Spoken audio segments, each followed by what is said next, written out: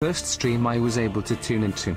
I am surprised by how much of your vid production value is actually from the VOD itself, at least from what I've seen today. Oh, well, welcome in. The thing is, the music's a trick. The music makes you think that exciting things are happening. Like, if I was just sitting here playing Usually Mario, videos, it just was like this. first time tuning in.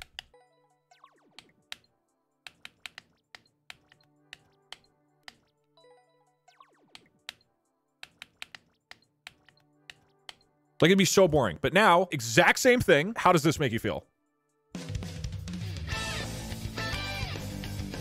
Put back on the music, I don't want to see you sitting here.